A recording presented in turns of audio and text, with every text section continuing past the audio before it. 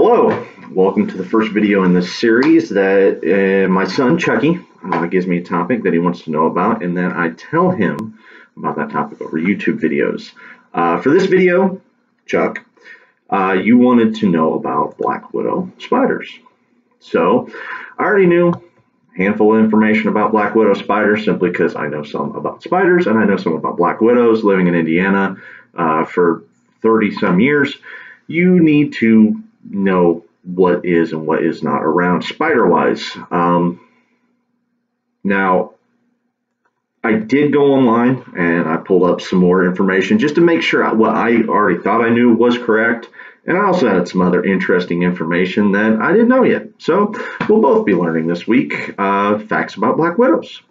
Uh, because I did go online and I am using an external reference for some of that information, uh, I'll go ahead and post a link below with that website that I pulled information off of. So that way, Charles Hannum and Dini M. Miller of Virginia Tech uh, get their share of credit for the information provided. Now, thank you to them, but I doubt if they'll ever see this video. But still, got to thank them, got to cite your sources, got to be a responsible individual when pulling information off the internet. Right, to start us off, let us talk about species information of black widow spiders.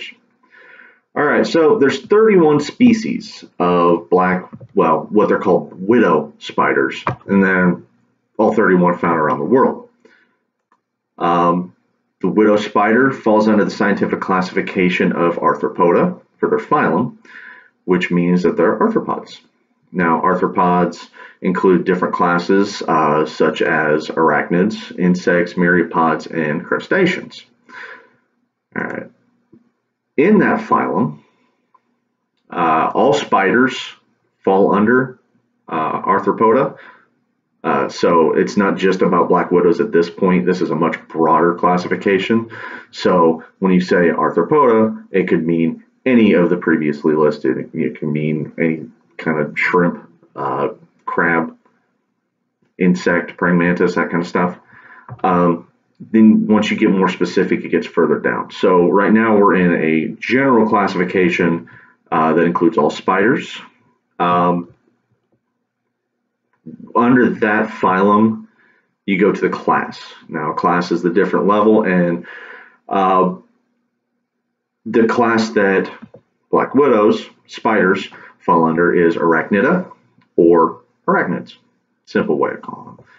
Um, there are a few more classification steps that occur between phylum, class, order, family, genus as you go down, but I'll skip those, simply stick to the basic classification scheme because you could do an entire video that could take easily an hour or more just to define different sub and supergroups included in scientific classification of a single species.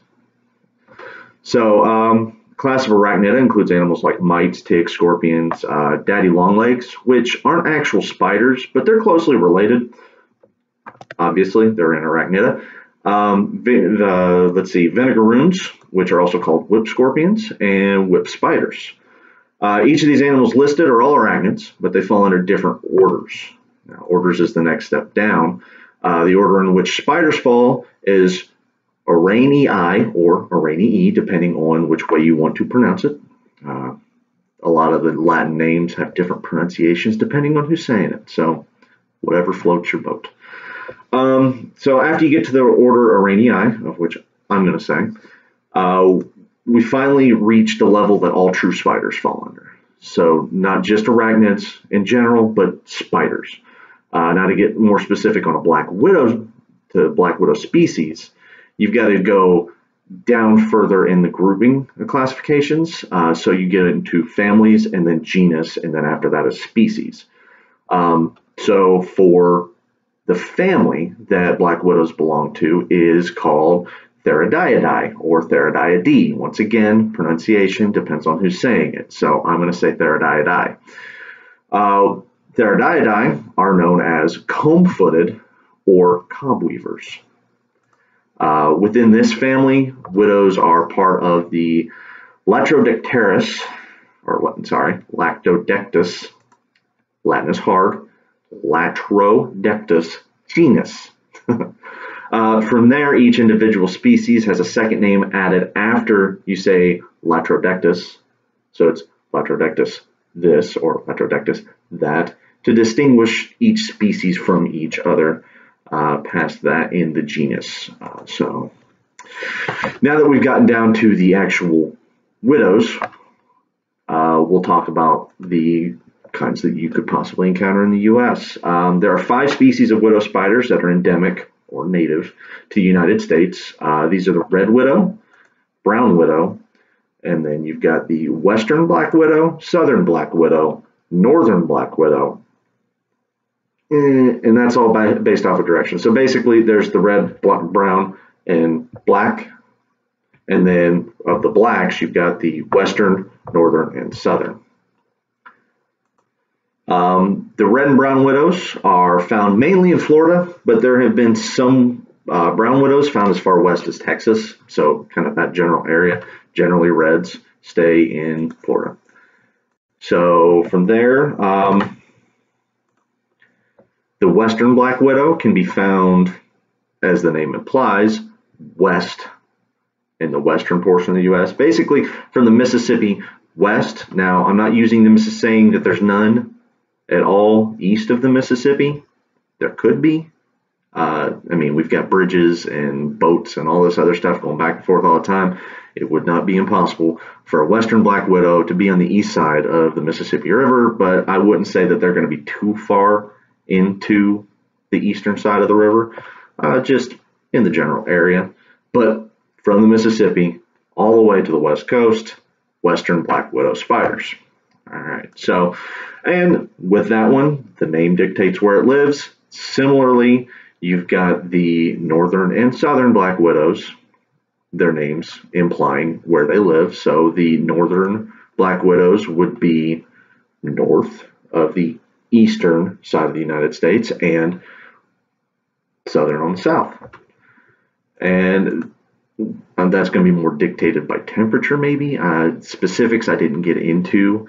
Um, now, there are no lines, specific lines saying, okay, this is where northern are and this is where southern are. There is range overlap. Um, you've got some states like Virginia. Virginia is a native habitat for both the northern and southern black widow species. So, further on about the black widow, the widow spider is the most venomous venomous spider in North America. Now, they're considered venomous, not poisonous, because their toxins or venoms come from their bite. Uh, a poisonous creature, on the other hand, would introduce toxins to a creature or, or to you through more passive means, such as if you ate it or you touched it, like with a poison dart frog or some species of jellyfish, or eating pufferfish. Um, uh, poison is more, um, you do it to yourself. Uh, toxin is something, or uh, venom is something that's done to you. Like animals use a venom to bite, like that. It's a little bit more in depth, but that's just an easy way to remember it. So, from there, let's talk about what they look like. All right, I gave you five different species of black widows. Five. All right, well, of widows, not black widows. Five different species of widows that live in the U.S. So, let's break down the basics of what they have in common. So, Widow, just like all spiders, has two main body sections. These are the cephalothorax and the abdomen. Cephalothorax, big word, not really that complicated. It's basically the top half of the spider um, from midsection to the front. So on the cephalothorax, you're going to find the head of the spider, little spider face, all of the eyes, and all eight legs. All eight legs are attached to the cephalothorax. Then you've got the abdomen. Now, it's the big section on the back end. Um, you probably just say it's the butt of the spider. I mean, it looks like a large butt. Um, now, pretty cut and dry on that. Not much attached to it. And on the sides or anything, just a big round part on the rear. Now, there are appendages that come off of it, but they're very, very, very tiny and they're at the very, very, very end. Now, these are called the spinnerets. Uh, these appendages are used to make and excrete silk that they use in their webs. Uh, spinnerets, uh, they look different. Uh, their appearance can differ between the different genuses of spiders. Um, I mean, some spiders have six, some have two, some have four. Just depends on what species of the spider. Um, and also, their appearance and how many they have also dictates what kind of webs they make. Um, so widow spiders, for example, don't make the big ornate round spider webs, the geometric patterns that you'd see, you know, on, on a door frame or between branches uh, outside. Uh, the the webs that they make, like their name implies, you know, cob cob weavers are cobwebs or just masses of spider silk. So it's just that tangly mess that you just find in a corner somewhere. That's that's more akin to what a black widow would make. Um, so these masses will stretch across a small space, um, generally low to the ground. From one side will be a stationary object, just something that doesn't move, something so that way they don't have to worry about their web being ripped away or something. And then on the other end will be a small recessed area, something like a crack, hole, something that the spider can fit in. Now, this hole is where the spider will spend all of its time. It'll weave the web and then it'll go sit in its hole. And it will keep its little spider legs out on some of the web lines so that way when any insects, another spider, something gets caught in its web, it'll feel the vibrations come out, bite, and then catch it, kill it, and then suck all of its juices out.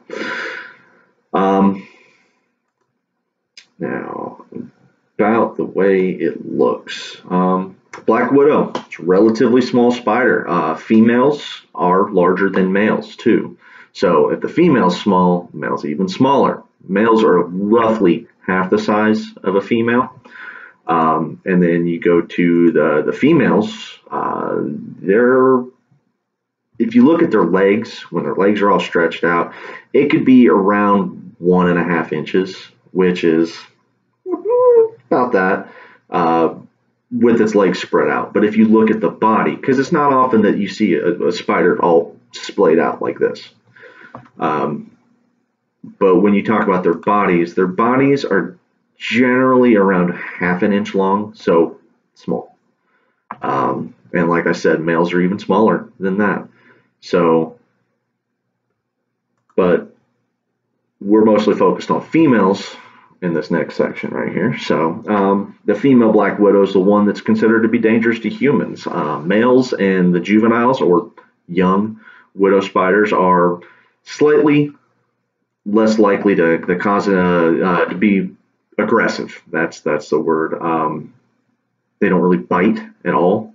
So you don't really have to worry about them. They're not the ones defending a, an egg sac or whatnot. I mean, they still have enough venom that potent enough to kill insects for hunting their prey, but they're not really going to do any damage to a human. Um, now back to the females. Black uh, female black widow is most easily identified by the bright red hourglass shape on their underside of their abdomen. That's the the big the butt shape. Uh, so this applies uh, mostly to the western and southern black widows, but it is important to note that the hourglass may not be a full hourglass. Um, it may be separated into two triangular parts, separate from each other. So one point down, one point up, little black space in the center. Um, not all spiders look identical. They're going to look about the same, but but that's all dependent on species as well.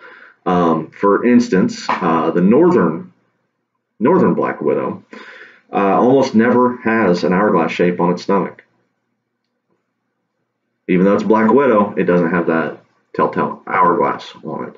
Uh, instead, it will have two red bars where the hourglass should be. So instead of triangles, you got two lines. Um, along with that, uh, accompanied by red bars on the top of the abdomen as well. So not just marked on the bottom, marked on the back. And that's the northern black widow. Uh, many females of all species will also have an orange or red spot directly above the spinnerets on the top of their abdomen, so right at the back. Um, and that's for black widows and red widows and brown widows. Uh, the red widow females have the same body structure as black widows, but not a uh, reddish cephalothorax, but have a reddish cephalothorax, so red up front, and more of a dark red or brown abdomen, so the back. Um, they also have the red hourglass shape, distinct on their uh, underside of their abdomen. Uh, but in some cases, once again, not all spiders are identical. So you could just have, instead of the hourglass structure, just two red splotches. It happens. Um, all right, uh, let's see. Similarly, brown widow females, brown widows, like red widows, are not black, hence the name. Brown widow females are a brownish color, as their name implies, and they do have the hourglass on their undersides. Uh, this one uh, appears to mostly have, always have an hourglass, uh, but instead of it being a bright red, like on black widows, it's going to be more of an orangey color. So if you see the hourglass shape, you know what you got. Don't worry about the color. If it's red, if it's orange, if it's purple, if you see any spider with purple on it, don't touch it. It's a spider. Don't touch it. Um, all right, so another complication on appearances. Now, um, it's important to note, like I said, not all individuals of a species are going to follow the rules set by general observation. So if I see a hundred spiders and say these all look identical, so this must be what these look like. And then I see a spider, 101 spider, doesn't look the same. Doesn't mean it's not the same species. It just means that there was a mutation or some kind of variation in the pattern. The genes are messed up, something. It can be the same species and not always look the same. So, these descriptions are made to find based off of what you most commonly find in nature. Uh, these are there are always exceptions that can be found. For example, uh, there have been populations of the western black widow, uh, normally black females with the hourglass shape on the bottom. Now, there have been populations that don't have that typical black color with a red hourglass. Instead, weirdly enough, these populations have been uh, maintaining the color and patterns that they exhibit during their juvenile state. So you see them and you think, oh, don't worry about it, it's just a juvenile. No, actually, it's an adult female and it's going to bite you and it's going to hurt. So, once again, don't mess with them, don't touch them. You see a spider, just leave it be. But, um, it's a general rule of thumb don't mess with spiders. All right, so those are the female descriptions. Now let's move on to the juvenile or young that aren't fully uh, developed into adulthood. So uh, the juvenile widow spider typically has a much different coloration than the adults. Usually the abdomen is a grayish to black color.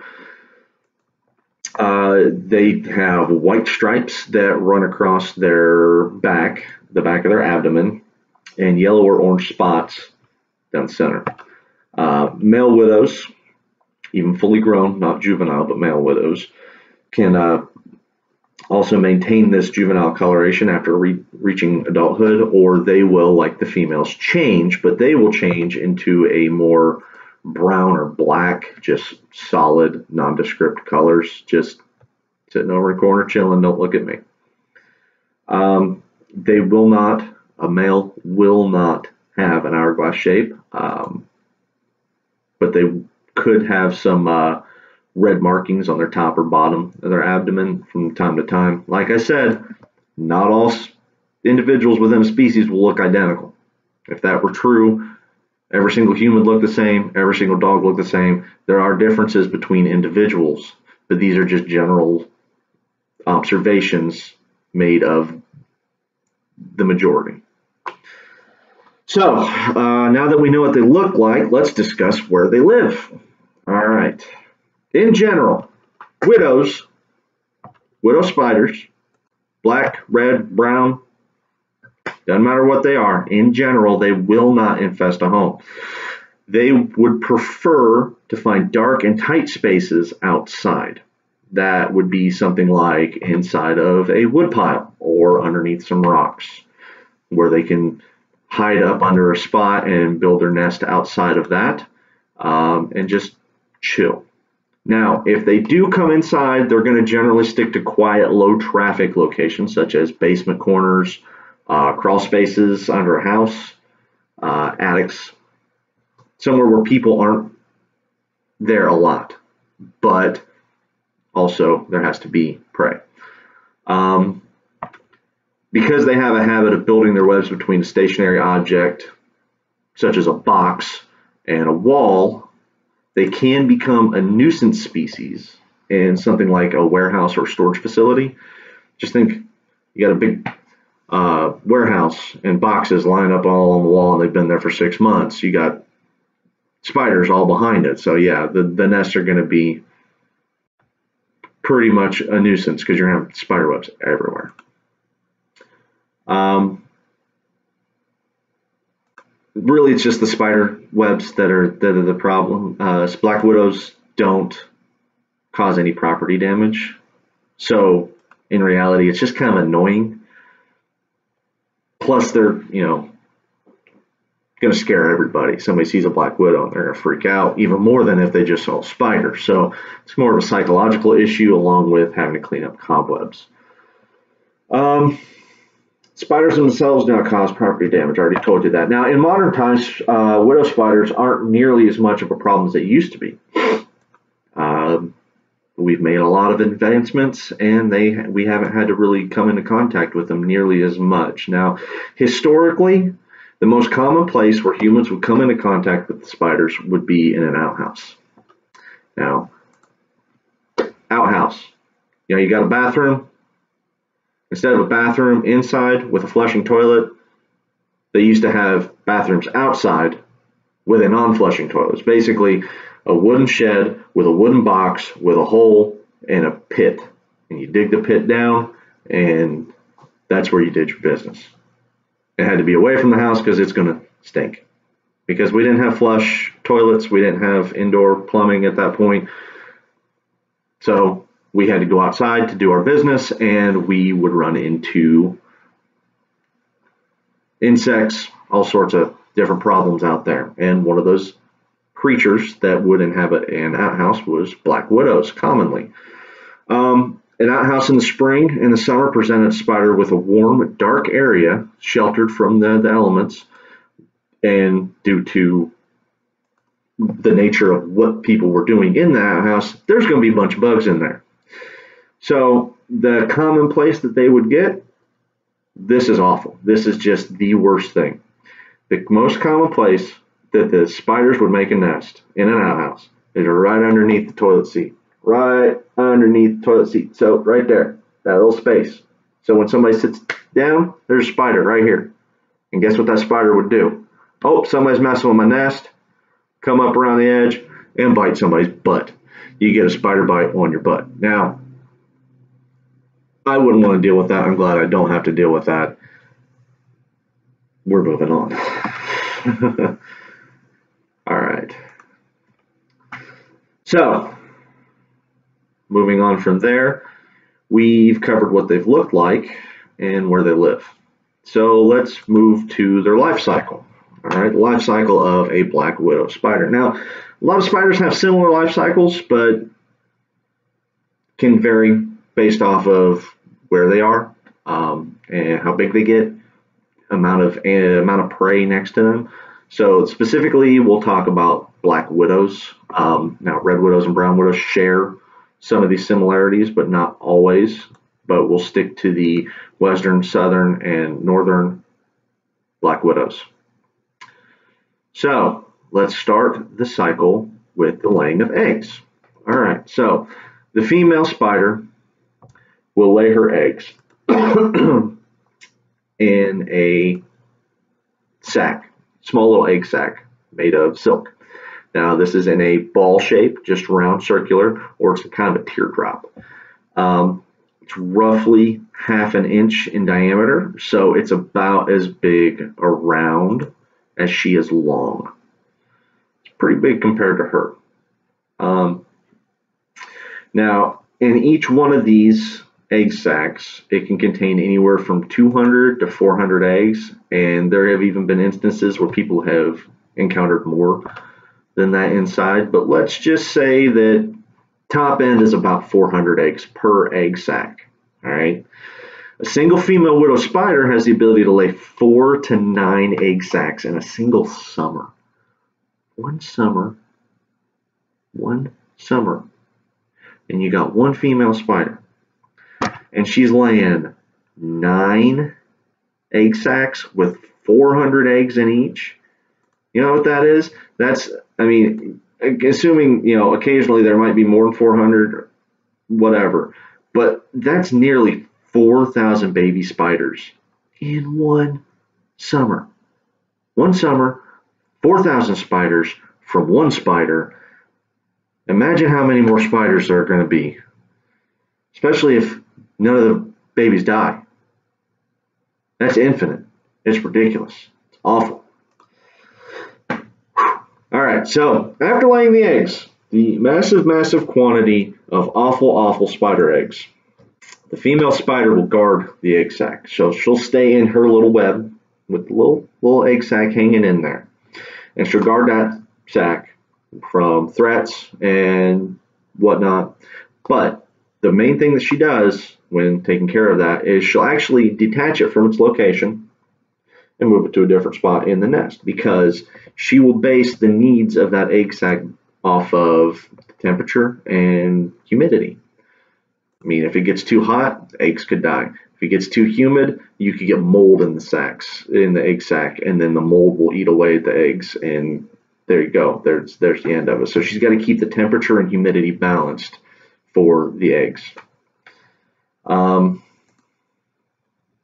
it takes about eight to ten days after she lays the eggs for the eggs to start hatching. Now,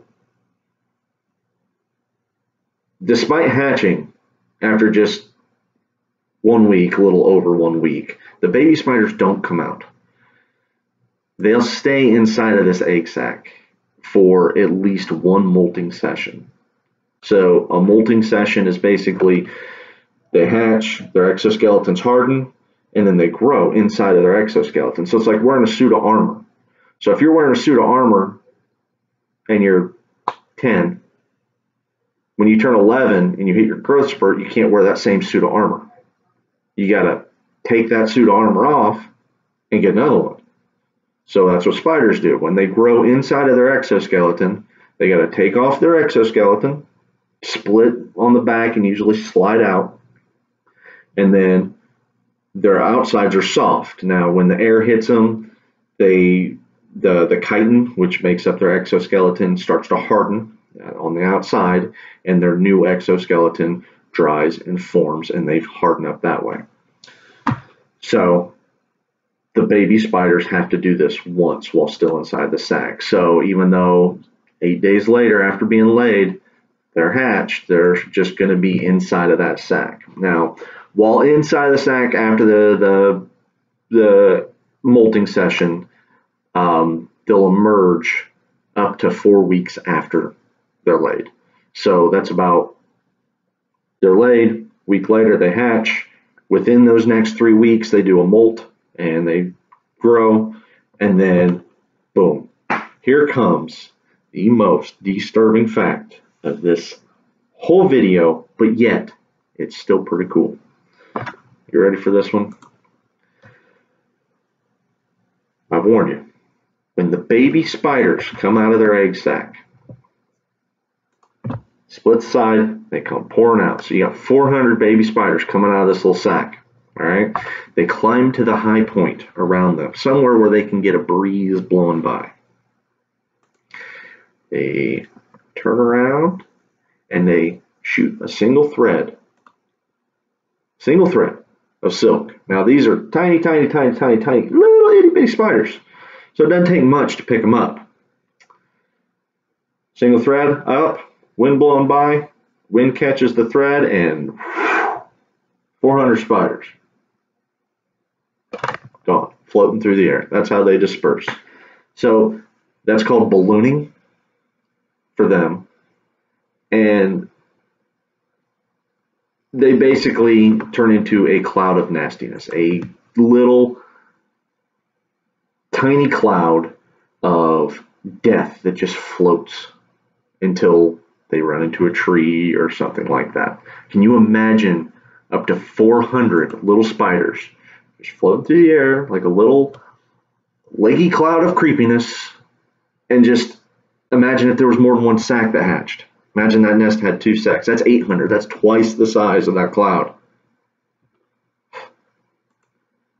Just standing out in the field somewhere, doing whatever, mowing the yard or whatnot, and all, all of a sudden, spiders everywhere.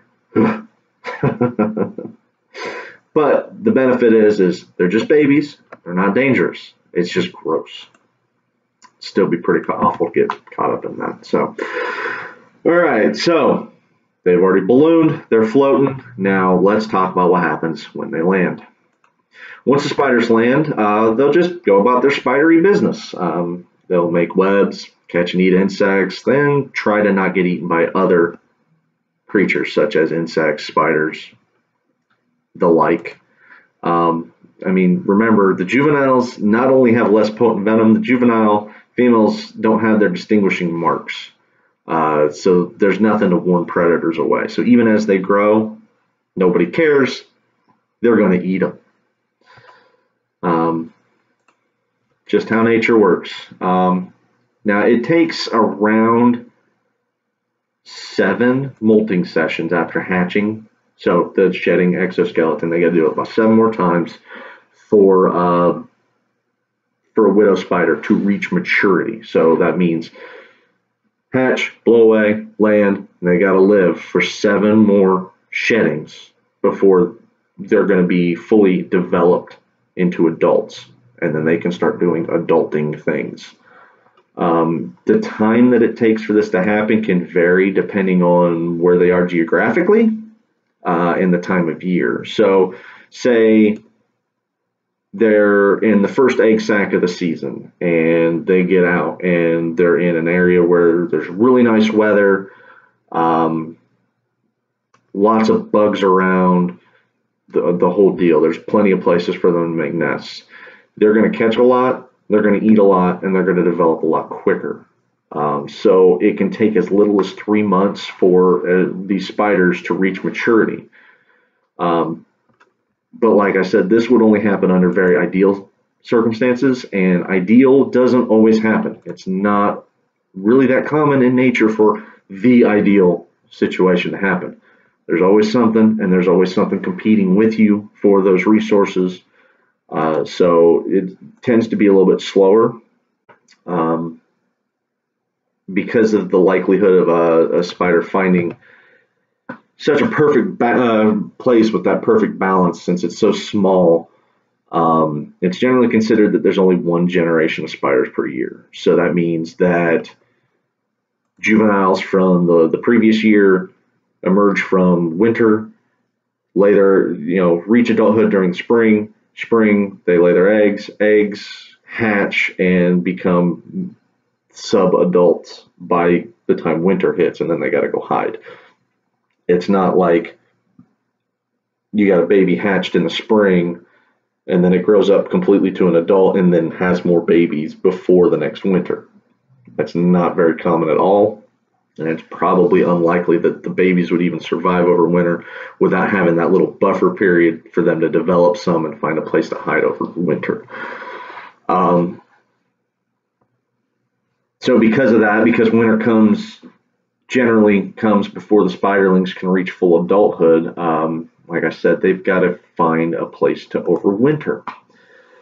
So this could be a nice protected hole under a rock, storage shed, uh, attic, whatever. They just go in there and they hide until spring, hoping that they don't freeze outside or that something doesn't come along and eat them or that, you know, somebody doesn't come through and vacuum them up because they found a big little big pile of spiders in a corner somewhere in their attic while they're doing cleaning. Um, once temperatures reach tolerable level, levels in the next spring uh, and their prey become more active, the spiders then leave the overwintering shelters and come uh, come out so they can continue to develop. Once they start coming out, start eating more, their development begins again, and they can finish off their seven molts, and then boom, adult spiders. This usually happens around late spring, uh, before summer officially starts in that general time frame. Uh, once they reach maturity and they're adult spiders, then comes the next step in the life cycle. They got to start more. They got to start more generations. So the spiders will go and find a mate. Uh, and then the mate, they mate. Female goes, lays eggs, whole story starts over again. So basically, rewind two minutes and listen to it again. If you really want to hear the life cycle go over and over and over, but I don't recommend it because I'm sure you're smarter than that. Um, now,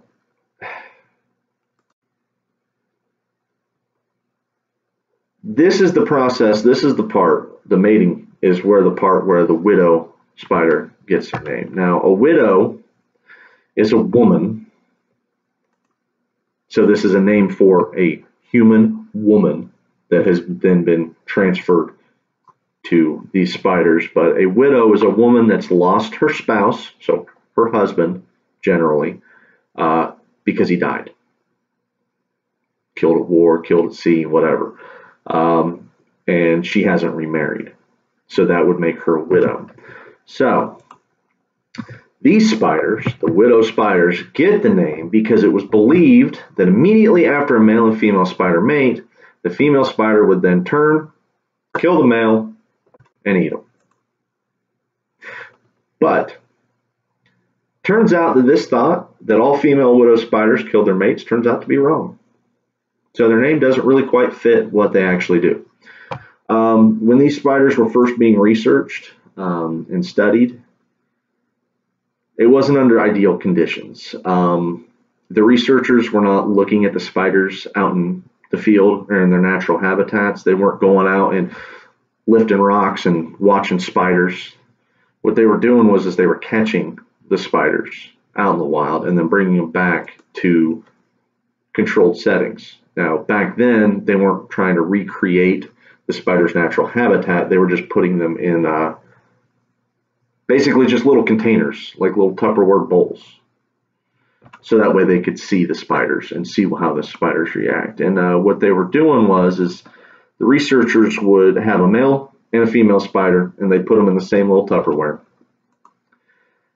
And obviously, the male and female spiders, they're going to do what they do naturally. They're going to mate.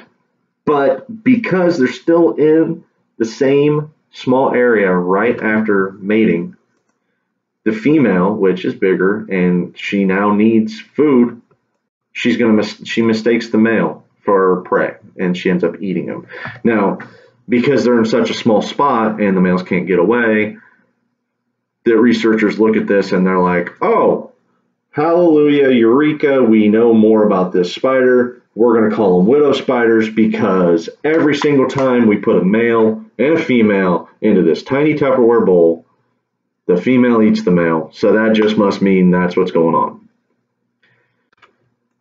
Flawed science.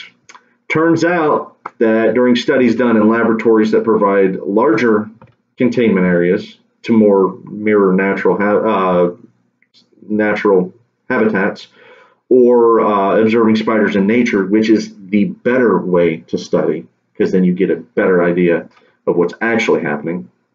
Uh, as long as the male spider can get out of the female's web directly after they mate, uh, that's that. Male can survive, obviously, and move on with his little spidery life and do the things he wants to do. Uh, females eating males is actually a pretty rare event for the species. Um, now, that is common. I mean, that's that's how it is for a lot of spiders.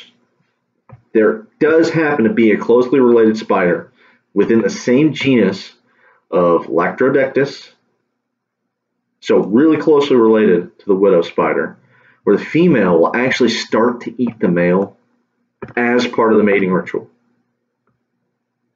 So during it, the, the female just starts eating him. And if that didn't happen, the mating wouldn't happen. It's part of their ritual. It has to happen every time. And you've got mail. Don't worry about that. Um, the, this spider uh, that does this is the Australian redback spider, so only found in Australia.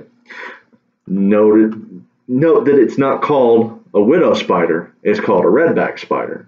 Now, these spiders should actually be called the widow spider and not the ones that we have here or even any of the widows because the widowing doesn't actually happen except for in the Australian redback spider. But what are you going to do? They're already named and they're already Latinized with their little uh, special scientific names. Uh, but like I said, turns out females eating males is pretty uncommon. All right, so we've talked about their classification, what they look like, where they live. I mean, really, most people, when they think about black widows, I think, oh, it's a deadly spider. Oh, it's a deadly spider. So let's talk about the health risks. What happens if you were to get bit? So, first off, I need to reiterate that black widows and widows in general are not really that aggressive in spider standards. I mean, compared to some other species, there are some species that come at you. Widows, they don't. They want nothing to do with you. They want nothing to do with you even if you're in their space most of the time. Um, I mean,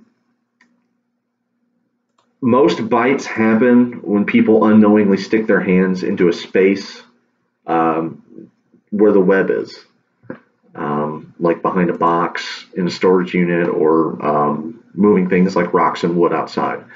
Uh, it can also occur if the spider's inside of your clothing or your shoe and you put one of those things on. So like you throw a shirt in a corner and it sits there for a week, and then you pick the shirt up a week, you know, after that week and you put it on. Well, if you didn't shake it out, there could be a spider in there and it might bite you because now it's pressed up against you and it really has nowhere to go and it feels threatened. Um, in general, though, widow spiders are pretty timid and only bite when threatened. Um, they're so timid, in fact, that even when disturbing a nest that has an egg sac, it's more likely for that black widow or widow spider in general to run away and just be like, nope, you're too big, I'm done, I'm out. See ya, peace, I'll go lay eggs over here. So that's something, I mean, it, it's a little reassuring. I mean, you don't have to worry about black widows just kicking down your door and coming in and trying to bite you. But if you do get bitten, uh, the widow's venom uh, can cause a set of symptoms that is known as lat- latrodectism. Latrodectism. It's actually an entire set of symptoms. It's like specifically, it's like having a disease because you got bitten. Um, now, their venom is what's known to be a neurotoxin, uh, which is a type of toxin that's damaging to nerve tissues by altering the structure or function of cells in the nervous system. Um, there's many types of neurotoxin in the world, um, and they can be found from many sources. Uh, animal-wise, you can find them in snakes, spiders, scorpions, bees, pufferfish, and some shellfish, like mussels and clams. Um, there's also non-animal sources of neurotoxins. Uh, lead, for example, it's a type of metal, but if it gets in your system, uh, it's going to be considered a neurotoxin uh, because it's got harmful effects to your uh, nervous system. All right. Um, when it comes to Black Widow uh, and their venom and lactodectism, lactro, latrodectism, the effects are not immediate. So, in many cases, a widow spider can bite you and you won't even know. Uh, you won't even feel any pain and can go completely unnoticed. And at worst, the bite's going to feel like somebody poked you. You think you, you know, put your shirt on and got poked by, by a string or something. So, that's something that's not that reassuring because you get bit and not know it. So, um, from the point of uh, from the time of the bite, uh, the venom will then travel from the source point of injection to the nervous system, and it'll spread through the body via the nervous system. Uh, after around 15 minutes to an hour, uh, depending on the toxicity, as in how much venom got put into you and your body type, like how big you are, uh, or any other health issues. Um, around 15 minutes to an hour, you'll start to develop the first symptoms. Now, the first symptoms of being bitten, um, just kind of a dull ache, kind of like, oh, that's that spot on my body is sore now. And it's generally around where the bite was. Now, from there, um, I mean, it doesn't seem that bad. Just a dull ache. Yeah, you deal with it. Go take some Tylenol. But from there, the ache could spread and uh, progress to something much worse. Uh, it will progress to painful muscle cramps. Now, you're thinking, oh, Charlie horse. No, this is worse because it goes to all your large muscle groups. Now, it's spread through your nervous system at this point, so it's in your body. Um, so it's going to travel to the nerves that affect the larger muscle groups, such as in your abdomen. And that's where you're going to get your cramps. Your big, big muscles are going to like that, and you're going to feel horrible. And that's not even where it stops. So, after that, the other symptoms involved with getting bit are sweating, yeah, nausea. Now, that can be pretty bad. Elevated blood pressure. That, that's not good. Now, the last one doesn't seem that bad, but it is because I hate doing it. It's vomiting. So if you think you got bit by a spider and you start to throw up, you got an issue. Just remember that one. Um, these symptoms, all of the ones above, are going to reach their peak or the point at which they are not going to get any worse because they're as bad as they're going to get after anywhere from one to three hours. So you get bit 15 minutes later, oh, kind of hurts a little bit. Hour later, you're on the floor because your stomach's cramped up, you're sweating and puking all over yourself, and you just don't feel great. Here comes the good news, which isn't actually good news. So, at one hour, you feel that way. Up to three hours, you're going to get worse and then at three hours it stops. It doesn't stop, it stops getting worse. So you feel just as bad as you did for the next 9 to 21 hours. So you could be dealing with this for an entire day of just awfulness. That's what would happen if you get bit. Now, here comes the good news. After up to 24 hours, your body will start to break down that neurotoxin and remove it from your system. So, 24 hour hits, and you're all clenched up, and you haven't had anything worse happen to you in 12 hours or so, you're going to start to get better. Your body will break down the neurotoxin, remove it, repair any damage, and you'll just pee out the byproducts of the broken down neurotoxin. Um, in some extremely rare cases, extremely rare cases, um, by extremely rare, I mean around less, less than, less than 1% of people that get bitten, death could occur. Um, in most cases, healthy adult, you'll feel the mild symptoms from being bitten. Um, if you're not a healthy adult and you're an unhealthy adult, you're probably going to feel more severe symptoms. Uh, the most at risk are small children, obviously, with anything, whether it's a disease, a poison, a venom, whatever. Small children are most susceptible. Now, along with that, elderly. Older people that have reached the point where their immune system isn't working as well. And also, unhealthy adults that don't have uh, that have a suppressed immune system. They're the ones that are going to be affected. So if they're bitten, they need to get to a hospital. Everyone else, you probably should still go to a hospital, but you're not going to have to worry about dying. That's good to know. Um, Modern fatalities from the black widow bite occurs, like I said, in less than 1% of every person that gets bitten. This means that the odds of somebody, specifically a healthy adult, the odds of a healthy adult dying from a black widow bite are around just as low as a chance of you getting hit by lightning. Yeah. Now, how many times have you walked around outside and not gotten hit by lightning? How many times have you held a black widow spider? I'd say that you're doing pretty good on that. You're more likely to get hit by lightning in those instances if you spend more time outside and you don't ever touch a black widow. So, that's something to feel good about. But even though I still feel good about it, I'd still avoid messing with these spiders so that you don't have to risk the situation and you don't have to risk being going through the pain and discomfort that would happen while the neurotoxin's in your body. If you ever find yourself, this is important. This is for Chucky. This is for anybody, anybody watching. Important. Do not forget it. This is for myself as well.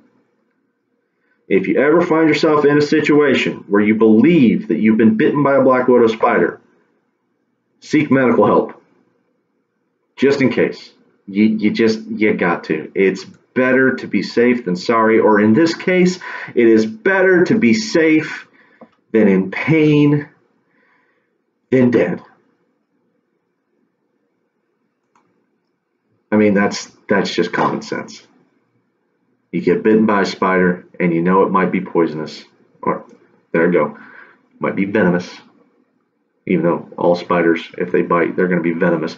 If it could be harmful to humans, clarification on the clarification.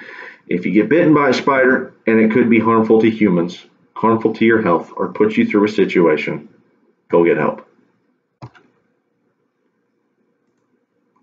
That's me being an adult, being responsible, and trying to teach a younger generation not to be like me when I was younger. So, all right. That was a lot of information and it took a lot longer than I thought it would. But we got through it. And I hope you stuck it out with me and enjoyed the video. I have to say, still kind of creeped out by the thought of a death cloud of tiny little spiders uh, just falling on me. Just outlining my business from the sky, just, but like being bitten or being struck by lightning. I haven't encountered a death cloud so far in my life, so I'll probably be all right. Okay, at this point, Chuck, you haven't told me what the next video you want is going to be about. You need to let me know so you can put a comment on this video or you can call me, text me, video message me, whatever you want to do. Um, you just let me know and I'll get to work. Uh, this video took a couple of days uh, to get all everything in line and I still have to edit and upload after this. So today is Friday. It could be Sunday by the time I get this up. Either way, you got to let me know or I can't make the video. Um, as of this point right now, I've already got one Minecraft survival episode uh, up. It's a little over a half hour long. Um, I'm not sure if you've seen it yet because I haven't talked to you. Um, but whatever, I'll get another one of those done and posted. I'm I want to say by Tuesday ish. So by the time that you know, by the time I talk to you next, you know, there'll definitely be a video up. Um, but other than the Minecraft thing, which is pretty easy to do, uh, you just got to come up with some show ideas for this show. This show right here. You got to get ideas for me. Uh, whatever you want to learn about. You said Black Widows. Here's your Black Widows. You want to learn about any other animal. I don't care what it is. I'll do a whole thing on it. You want to learn about space. Pick a star. I'll tell you about it. I mean, most stars are pretty much the same. But you tell me a topic, I'll do it. It doesn't even have to be just one topic. You come up with a list and send me that list, and I will I will work through it as best as I can from one to whatever number you give me, and I'll get them up here eventually. And but past that, I hope you enjoyed this video. I hope anyone else that eventually sees this enjoyed this video. I don't know that anyone would ever watch this, but thank you. Let's go with that. Um, that's all I got. I will talk to you later. See ya.